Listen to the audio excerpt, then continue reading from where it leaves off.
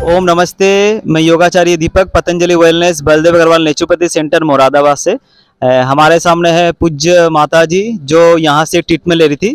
तो इन्होंने सात दिन का ट्रीटमेंट लिया। इनको घुटने में बहुत दिक्कत थी। जब ये आ रही आई थी तो चलने में भी दिक्कत हो रही थी। तो आइए उनके जुबानी सुनते हैं कि उनको कितनी दिक्कत थी और अभी कितनी राहत मिली। जी माता जी आप कितने दिन से यहाँ ट्रीटमेंट ले रहे मैं सात दिन से।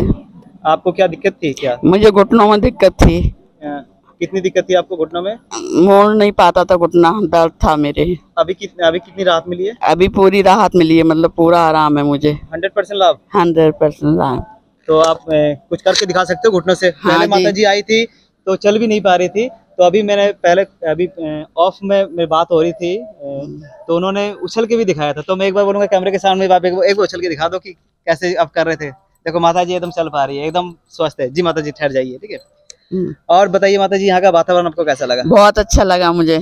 और यहाँ के जो थेरेपिस्ट है डॉक्टर थे उनका व्यवहार कैसा लगा बहुत अच्छा बहुत अच्छा व्यवहार है सभी का। जो थेरेपी देते हैं उनका भी डॉक्टर का भी और आप योगाचार्य का भी कराने वालों का सब सभी का बहुत अच्छा व्यवहार है। बहुत अच्छा लगा मुझे यहाँ के। इस सेंटर के बारे में दूसरों को आप क्या मैसेज देना चाहेंगे?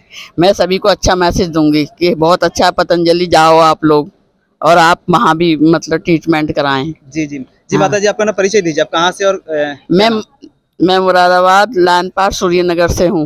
आपका नाम क्या है? मेरा नाम है शोभा यादव। जी माता जी आपको बहुत बहुत धन्यवाद। ओम।